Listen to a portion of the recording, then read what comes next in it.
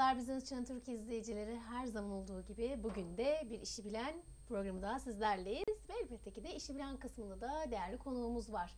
Enerji terapisti Suzan Güler bugün konuğumuz efendim. Dilerseniz öncelikle kendisine bir hoş geldiniz diyelim.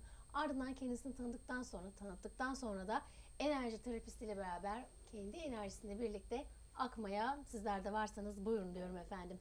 Hoş geldiniz. Nasılsınız. Suzan Hanım? Merhabalar. Teşekkür ederim. Sizler nasılsınız? Çok mersi bizlerdeyiz. Hepimizin arayıp bulamadığı diyeyim, en çok istediği şu enerji, e, enerjiyle birlikte elbette ki mutlu olabilmek, rahat olabilmekten bahsedeceğiz bugün. Ve elbette konumuz da Reiki olacak. E, Access Bars'tan da yeri gelir konuşuruz. Hepsini kısaca size sormak istiyorum ben. Ama öncelikle sizi tanımak istiyorum. Buyurun lütfen. Tabii ki. Ee, ben e, uzun yıllar süren bir çalışma e, eğitmenlik ve işletmecilik hayatından sonra enerji terapistliğine e, devam etmeye karar verdim. Uyguladığım teknikler arasında Access Bars, Access Beden Prosesleri, Enerji EFT'si ve Reiki Master olarak şu anda yoluma devam ediyorum. Genelde hep şu var değil mi Suzan Hanım? Ya o kadar tempolu, işte ağır iş çalıştıktan sonra sürekli belki stresle beraber boş, baş ederken birden bu tür alanlara daha kendinizi bulmak, tanımak ya da hani ben artık kendime ne yapmam gerekiyor, kendim için faydalı olması için ya da çok ağır sıkıntılardan, sağlık problemlerinden geçtikten sonra da bu konulara birazcık meyil oluyor sanki.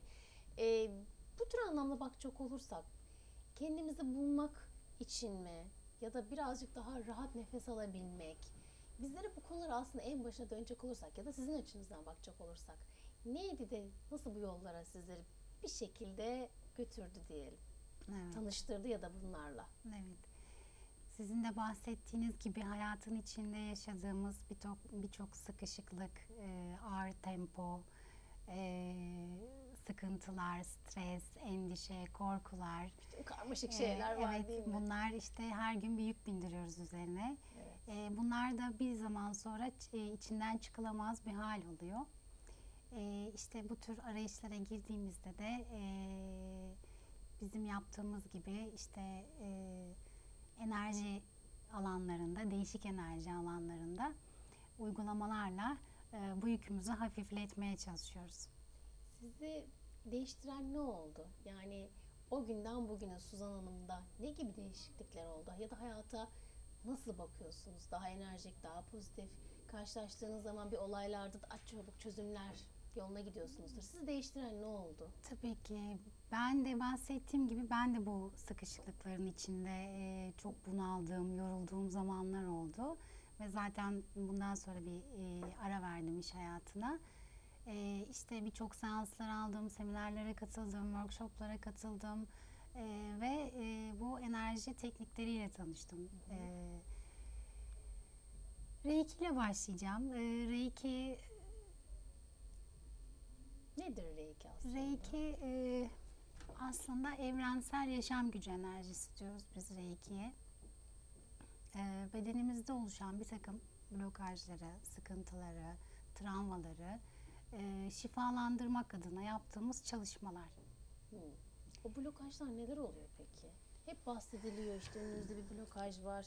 O bizim yaşadığımız sıkıntılar mı? Sorunlar Ya mı? tabii ki yaşadığımız sıkıntılar ve sorunlar yani sürekli sürekli ne yapıyor? Tekrar ediyor. E, değişik şekillerde yine önümüze çıkıyor ve içinden çıkılamaz bir hal alıyor.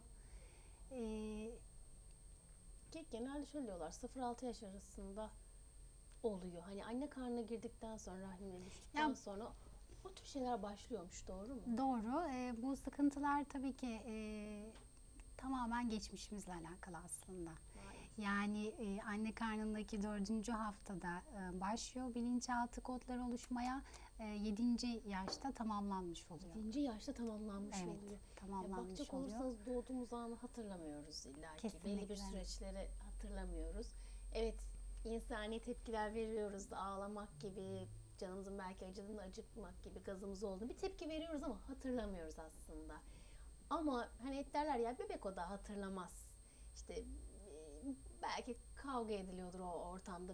Kimi sıkıntı süreçler vardır. Bebek o. Anlamaz. Anlıyor aslında öyle mi? Kesinlikle öyle, kesinlikle. Yani bu süreçte bilinçaltı kayıtları oluşuyor, kodlar tamamlanıyor e, Şaka ve gibi değil mi? e, aynen öyle. İçin. Aynen öyle evet E, ve belli bir zaman sonra işte önümüze çıkmaya başlıyor oluşan blokajlar.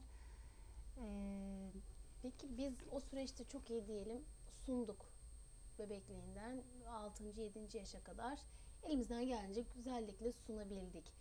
E, 7. yaşından sonra veya işte 7-8 yine bir çocukluk dönemi başlangıcı olduğu için çok fazla bir şeyleri anlamlandıramıyoruz. Evet. Anlayamıyoruz. Evet, hayatı anlamaya çalışmaya başlıyoruz o anda. Ama kendimize has sıkıntılarımız, kendimize has çocukluk tepkilerimiz olabiliyor. Yani bir anne baba o blokajları ne kadar o yaşa kadar tutarsa şimdi 7. 8. yaştan itibaren de bizler ne kadar ne şekilde yapabileceğiz ki onun da ait bir dünyası başlıyor çünkü. Yani aslında o blokajları bizler ne kadar Ya bizimle ilgili değil tabii ki bu. Yani aslında hani bu bizimle alakalı değil. Yani burada e, karma dediğimiz geçmişten getirdiğimiz Ya, e, genetik faktörler faktörler söz konusu evet. E, işte bu yüzden e, anlayamadığımız tekrar eden blokaj ve sorunlarla karşılaştığımızda e, işte atıyorum bir iş görüşmesine gidiyorsunuz. Çok donanımlısınız. Her şey yolunda. e, referansınız yerinde. Ama bir türlü olmuyor veya erteleniyor.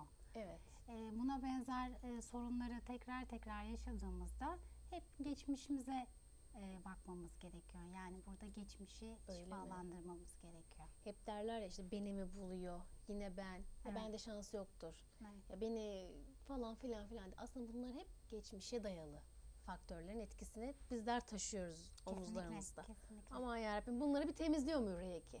Faydaları neler Re- oluyor? Reiki ile tabii ki bu geçmişimize e, şifa gönderebiliyoruz. E, travmalarımıza şifa gönderebiliyoruz. Geleceğe şifa gönderebiliyoruz. E, üç aşamadan oluşuyor kendi Hı hı. içinde. Birinci, ikinci, üçüncü aşaması var. E, yani kendinize ve e, istediğiniz e, kişilere şifa verebiliyorsunuz. Benim gibi Reiki Master olmuş e, bir eğitmenden e, uyumlandığınız zaman e, eskiler el, el vermek derler. Evet, el vermek. Evet. Uyumlandığınız zaman sizde de e, çalışmaya başlıyor ve e, hayatınızın sonuna kadar kullanabileceğiniz çok güzel bir şifa tekniği. Herkes yapabiliyor mu yani? Ya da bunun Tabii için ki, eğitimini tabii ki. almak. E, yani bunun için bir herhangi bir özelliğe sahip olmak gerekmiyor. Sadece eğitimi almanız e, ve uyumlanmanız yeterli. Bu tür çalışmaları yapmamız gerekiyor en azından. Evet. Sağlık gibi kimi rahatsızlıkları, problemlerimizde de faydalı var mı kendisine Reiki'nin? Tabii ki tabii ki. Ee, şimdi ülkemizde ve birçok yabancı ülkede e, çok yaygın bir şekilde kullanılmaya başladı aslında. Hatta e, Amerika'da ve Japonya'da Reiki klinikleri var. Hmm. Ee, alternatif e, tıp olarak kullanılıyor. Ee, gerek sağlık sorunlarında, gerek kronikleşmiş rahatsızlıklarda, e, depresyon olabilir, öfke olabilir, e, buna benzer e, sıkıntılarda e, enerji bedenimizi e, şifalandırmak e, ve fiziksel bedenimize olan yansımalarını ortadan kaldırmak amaçlı kullanıyoruz.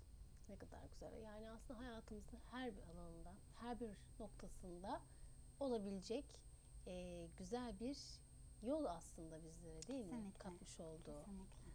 Sizler de bu anlamda eğitimler veriyor musunuz peki? Tabii ki e, eğitimler veriyorum, e, seminerler veriyorum, bireysel seanslar yapıyorum. Olabildiğince insanlara dokunabilmek, e, dönüştürebilmek adına çalışmalar yapıyoruz. Pozitif yaklaşımlarda bulunuyorsunuz aslında.